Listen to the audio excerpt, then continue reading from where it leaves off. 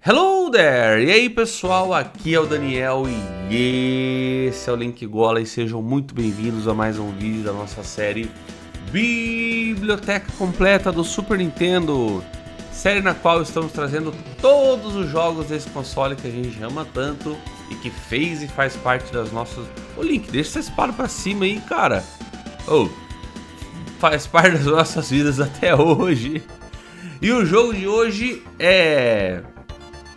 Lagoon! Olha aí, lançado no Japão, Estados Unidos e Europa.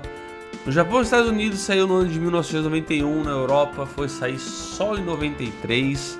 É um action RPG interessante, até aí tem uns gráficos meio simples, né? Mas ele é de 91, bem do início do console. A primeira versão, se não me engano, saiu em 90 é, para um outro console lá, nada a ver com o Super Nintendo. E cá estamos. A gente precisa salvar a cidade de algumas coisas. A água está poluída, tem alguma coisa lascando com a água.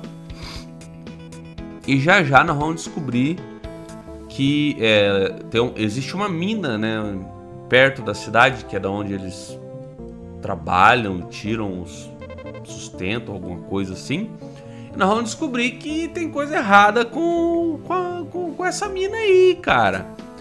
Tá saindo uns demônios, cramunhão de lá de dentro. E assim, Lagoon, ele é um joguinho bem legal. Você pode ver que a interface dele, né, o HUD, lembra muito Is. Os, e os RPGs, action RPGs clássicos, os primeirões de todos. Tem ali a barrinha do life do, do jogador, né? Que quanto mais você vai subindo de nível, mais aquela barrinha de nada branca ali vai aumentando para você ter um HP maior. A gente vai aprendendo umas magiazinhas, né? Por enquanto a gente não tem nenhuma, nós temos três de mana, tudo mais. E fomos na casa do prefeito, descobrimos que ele estava na igreja. Detalhe, a gente acabou de sair da igreja. Como que nos desencontramos nesse meio do caminho, eu não sei te dizer. Mas tudo bem, então vamos lá falar com o prefeito. Oi, Nazir, tudo bom? Limpar a água. Aí chegou a treta, mano. Chegou o bagulho doido. Meu Deus do céu, o que, que tá acontecendo? Um homem saiu da caverna. Muito machucado. Alguém vem ajudar. Vamos lá ver o que tá acontecendo. Que isso? De, de, de, demônios na, na ca, ca, caverna. Gilles está na caverna. Precisamos nos apressar a resgatá-lo. Mas que tragédia! O Guile está na caverna do demônio! Vamos lá falar com o padre! Jogo. A gente estava lá com o padre, jogo. Mas tudo bem.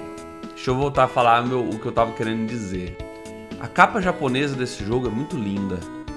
Tem os personagens, tem o protagonista, tem as, a mocinha e um monte de coisa legal.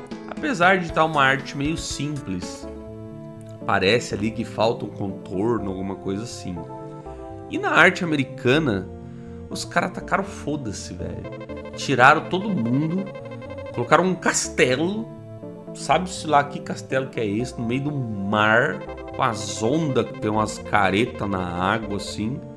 Cara, sério, sério, velho. Por que, que eles estragam tanto as capas americanas, mano? Eu não consigo entender. Mas aí a versão americana vem pôster, vem uns negocinhos bonitos. Só não sei se vem mapa, porque esse jogo ele é bem linear, cara. Mas vamos lá, falamos com o padre, agora tem que falar com o prefeito. E assim, script. Bem retinho. Tem que seguir aqui as coisas, senão você não tem dinheiro para comprar arma, não tem dinheiro para comprar nada. E esse jogo ele tem uma característica muito marcante. Muito, muito, muito marcante mesmo. Quem já jogou Lagoon tá ligado. E eu vou mostrar para vocês daqui a pouquinho. Primeiro vamos comprar aqui a espadinha. Eu quero a espadinha. Vamos lá, equipamento. Vamos equipar a primeira espada, a primeira armadura e o primeiro escudo. Por enquanto não temos anel. O anel são as magias, né? Na cidade não dá para atacar, normal, como sempre, mas estamos equipados e prontos para a ação. Vamos lá salvar o Gillis. Queria aproveitar que eu tô jogando aqui Lagoon, mandar um abração pro Adri Riei e pro Artanis, que adoram esse jogo. Artanis me ajudou a platinar ele até e tal. E a característica que eu estava dizendo é essa, ó. Esse é o ataque do personagem. Comparado com Zelda, né? Que o Link estica a espada lá na frente. Isso aqui é uma, uma piada, meu irmão. Uma piada. Esse é o famoso action RPG da faquinha de passar manteiga no pão. Eles deram aquele. Sabe, sabe, não é nem faca, sabe aqueles negócios que é tipo uma espátulazinha que vem no conjunto de garfo, faca, não sei o que, uma espatulinha? Então, a gente enfrenta os bichos com a espátula de passar manteiga. Nem preciso dizer que é difícil para uma caceta, principalmente chefes. Pelo menos o nosso life recupera sozinho. Tem itens que faz com que a gente recupere ele mais rápido, mas se você ficar paradinho, quietinho, o life ele vai voltando gradualmente. Dos action RPG não é o melhor de todos, mas é muito melhor que muitos que tem por aí também, como Hide Light e até mesmo os, os Is mais clássicos, no qual você nem botão de ataque tem, né? Action RPG que não tem botão de ataque, nossa senhora, é, é coisa de maluco. Esse aqui é a espadinha, é curtinha, mas pelo menos você que bate a hora que você quer. Aí é mais tranquilo. E na boa, é um jogo legal. Tem os anéis, ó, já subi de nível, meu HP deu uma aumentada bacana ali, você pode ver. É gostosinho, dá para salvar a hora que você quiser, só apertar start, vem, salva. Quer salvar? Quero. Salva a hora que você quiser, não tem erro. Tem vários equipamentos, é um jogo bem linear, difícil de se perder. O único problema é que todas as armas do jogo têm esse mesmo alcancezinho de espatulinha de passar manteiga. Até mesmo a long sword que você fala, ah, agora vai, mano. Peguei a long sword, bicho. Agora eu vou alcançar o cara lá do outro lado da tela. Não vai. O alcance vai ser sempre o mesmo. É sempre esse alcancezinho aqui de nada, cara, de, de, de ave. Mas assim, isso só deixa o jogo mais desafiador, não deixa o jogo ruim. Talvez você ache ruim caso você não pegue a moralzeta de, de acertar pela diagonalzinha aqui. Pega o ladinho do bicho, rebenta, espera o life voltar e bala.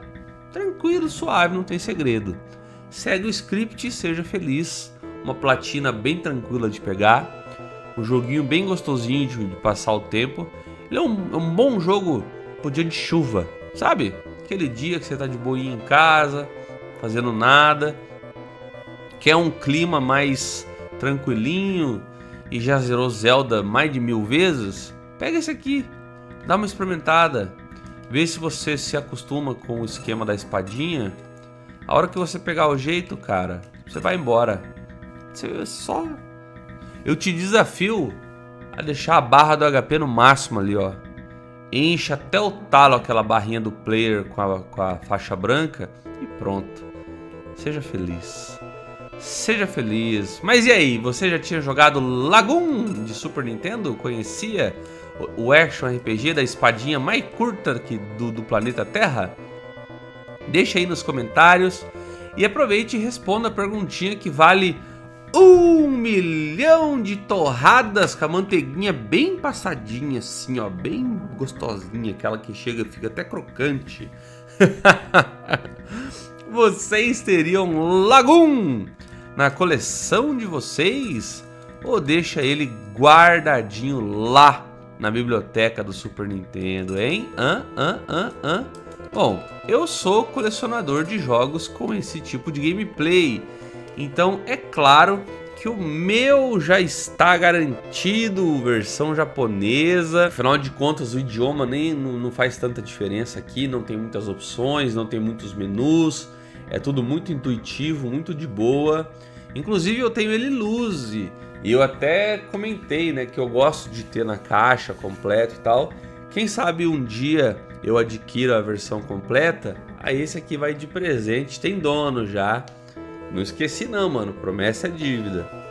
Mas, por enquanto, tá aqui meu cartuchinho, gosto bastante. E quero saber de vocês, deixe aí nos comentários a experiência com o jogo, se teriam ou não teriam.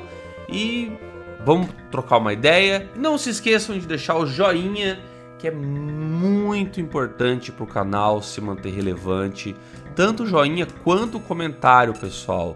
Participar, interagir de qualquer maneira. Mas é isso aí. Eu espero que vocês tenham gostado. Fico no aguardo do joinha e do comentário de vocês.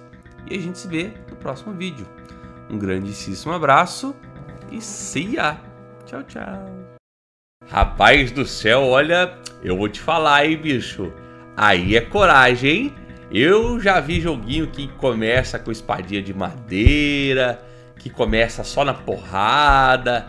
Já vi uns joguinhos complicados.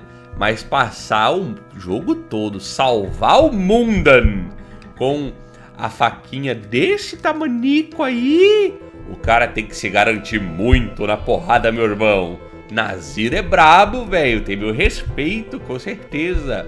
E é um jogo gostosinho, cara. Depois que você aprende a moralzinha, até é, é melhor, é, como eu disse, é melhor que muito action RPG do início da era aí, com certeza.